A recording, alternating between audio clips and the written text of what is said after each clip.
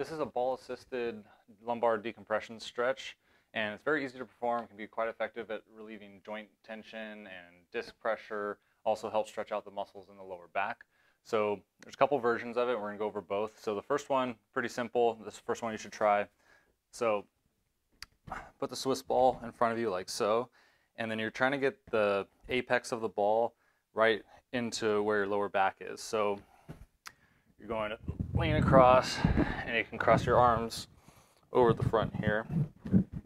Now you want to stay nice and relaxed through the lower back and the hips. So get your feet nice and wide, knees nice and wide so you have some balance, but you're just relaxing the, the hips, the lower back, and you're letting the ball just press up into the lower back there. So you're getting support from the ball while it's stretching and decompressing this part of the back. So if you stay nice, relaxed, and try to feel the stretch in the lower back, you should feel a nice pull into that area. Now, if you feel like you can handle more of a stretch, you want to try getting more of a stretch in the area, what you can do is find a spot at home where you have something that you can grab onto that's nice and sturdy. So a real sturdy table or couch or some sort of post or something at home. And what you're going to do the same setup. Set the ball up into the lower back area.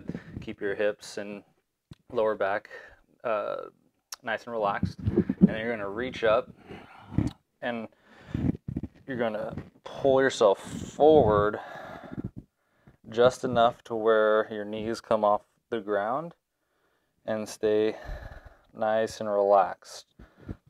So it helps keep your feet nice and wide. Your toes are kind of giving you the balance points, but you want to stay nice and relaxed through the back. It takes some practice, but once you can really relax and let the back go, you can get a nice decompression stretch in those joints in the disc of the lower back. You hold this for about 30 seconds. So the only thing that's tensing right now are my arms. The arms are holding me forward while the rest of my body is pulling me this way. So we're using our body weight to go that way, using our arm force to pull us that way so we get a good stretch into the spine there.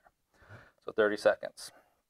Then, because this is a deeper stretch to the joints, when you come out of the stretch, first just sit back on your knees for a little bit and sit there and just kind of wake up the muscles again, get them activated just for about five to 10 seconds or so before you go to standing.